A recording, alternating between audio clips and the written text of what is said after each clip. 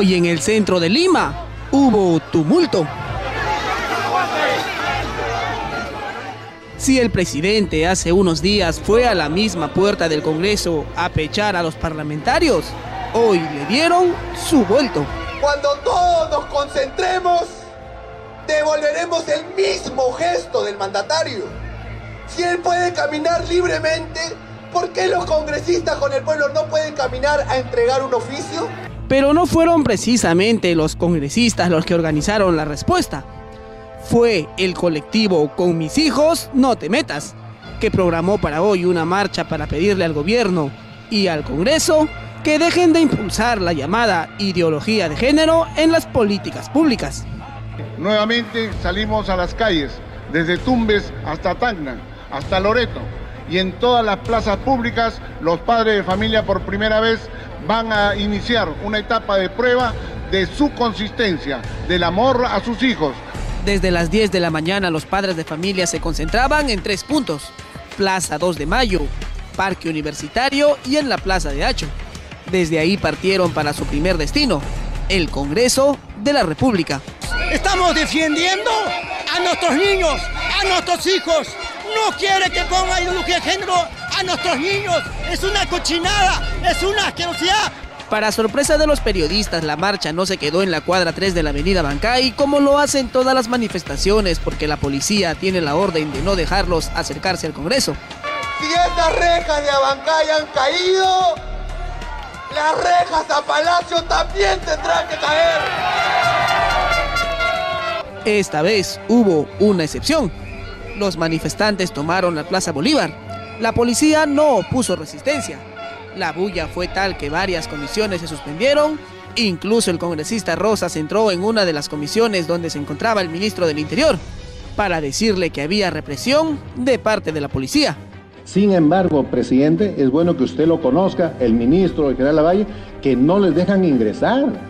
Ellos son padres de familia que vienen aquí, a la Plaza Bolívar, que es la plaza del pueblo.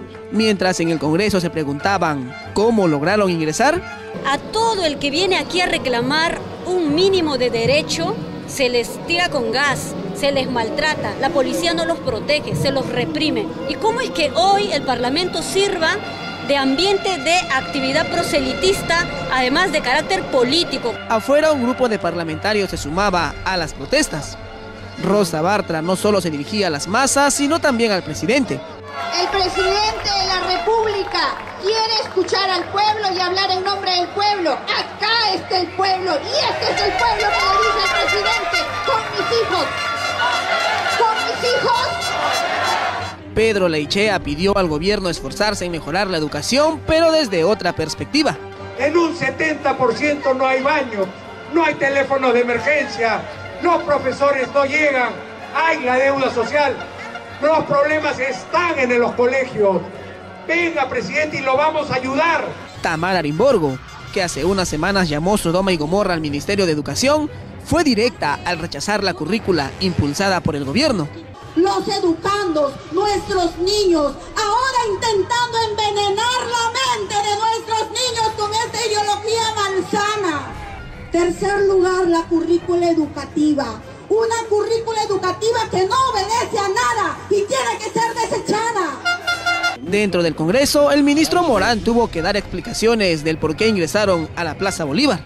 A la plaza, a la plaza, a la plaza principal hay restricciones siempre. El congresista, el congresista Rosas indicó de que esto contaba con la autorización del presidente del Congreso y en todo caso se hacen responsables los no se puede decir los propietarios, pero responsables del, Palacio Legislativo para autorizar esto. Con la indicación del Ministerio del Interior dada, los policías intentaron poner orden, pero ya era difícil. Una comitiva encabezada por Jenny Vilcatoma, Pedro Leichea, Julio Rosas y Tamara Arimborgo estaban rumbo a Palacio de Gobierno. Vamos a llegar a Palacio de Gobierno que debe respondernos. No queremos corrupción en las escuelas, no queremos corrupción en la educación.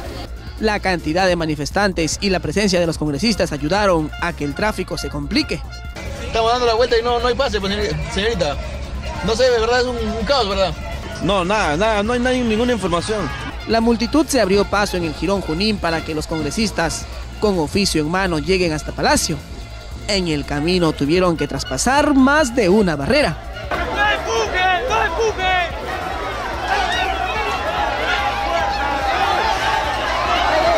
Contra todo y todos llegaron a Palacio. Intentaron ingresar por la puerta de PCM, pero no fue posible. Entonces se dirigieron a Mesa de Partes, cuya puerta está en la primera cuadra de Girón de la Unión.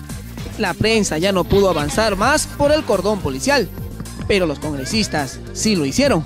En el oficio que entregaron piden la renuncia de la ministra de Educación, Flor Pablo, además de exigir al gobierno que retroceda en la política de enfoque de género. El presidente deberá responder en los próximos tres días porque si no, otra marcha se le puede venir.